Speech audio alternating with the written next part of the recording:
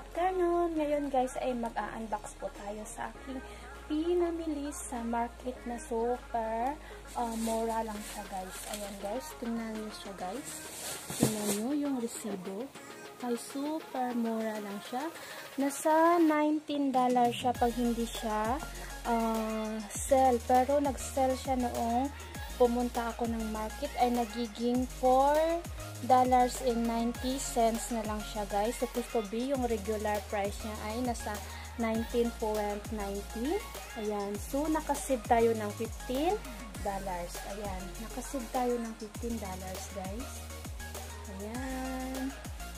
Ayan. Tingnan natin siya guys kung maganda siya.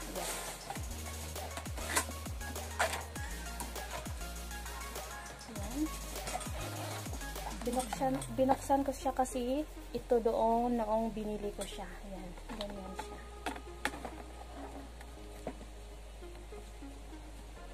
Ayan, naglagay yung resibo. Ayan, buksan natin siya.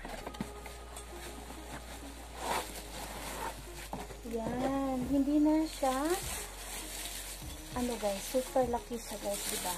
Ayan, meron akong magagamit sa bahay. Ayan, Mostly yung mga gamit ko sa bahay ay galing dito sa Singapore dahil namimili ako kapag mayroong mura. Ayan siya guys. Ayan. Sa stove lang siya guys. Sa stove lang siya. Kasi pag doon sa Pinas, super baka mahal yung sa kuryente. Ayan. Sa stove lang siya. Malaki na siya guys. Ito yung takip niya.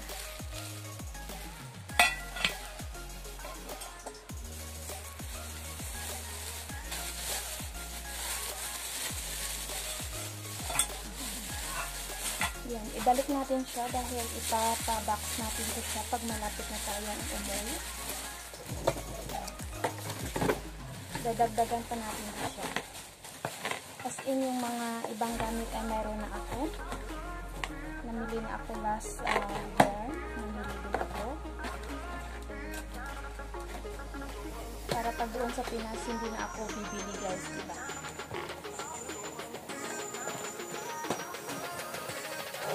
Syempre, dahil nakapag-save tayo ng $15, mayroong uh, 2, 2 for $20. So, magkasama kami ng at 3 for $20. Magkasama kami ng aking kaibigan. So, nag-add na lang siya ng $5 sa aking ng Ayan. Ano siya guys? Bead cover siya. Bead cover siya.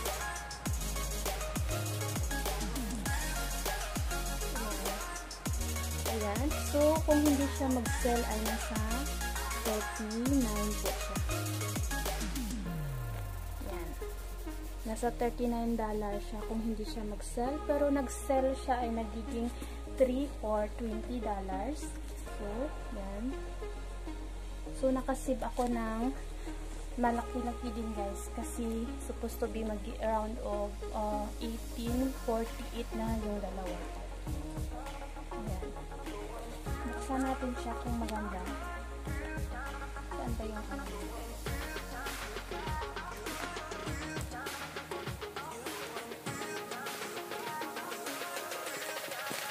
Actually, marami na din ako pinamili noon na biscuit pero binigay ko sa akin.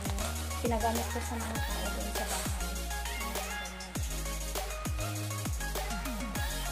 Kunin natin natin yung ano, yung karton para hindi na siya malakita. Single lang siya, single. Ayan.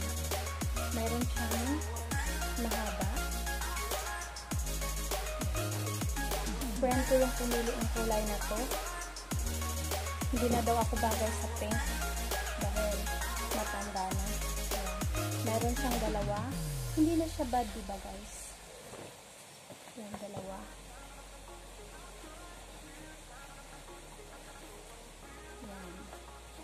dalawang pillow case at saka isang malaki, mahaba na pillow. Yan. Hindi naman siya matatawag na single, guys. Malaki siya. Yan. Super, malaki siya. Yan. Maganda naman pala yung kulay na inano ng aking kaibigan. Yan. Open natin yung isa. Mamaya na natin i ano, ayan. Nakakasave tayo guys. Kaya, kung ako sa inyo guys ay bumili kayo ng mga gamit kapag nag-sale guys. Kasi mostly pag nagsisell ay nagiging 2 buy 1 take 1 na guys. At saka 50% or yung mga pot price. Ayan. Ito naman daw kasi pag mayroong bisita na parang nakakatanda sa akin. So, ito yung pinili. Ayan. Ayan siya guys.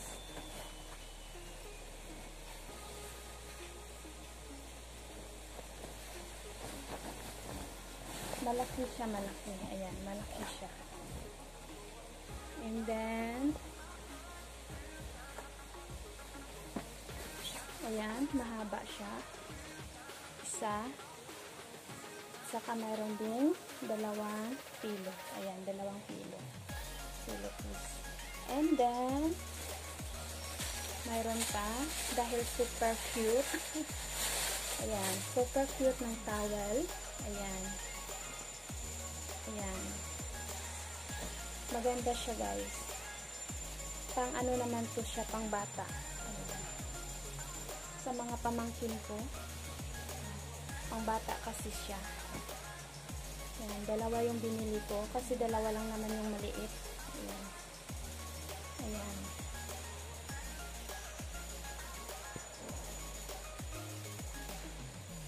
So, for now on guys, yan na po muna yung ating nabili. Ayan, paunti-unti lang po dahil uh, nagsa-start na po ako ngayong mag-ipon. Ayan.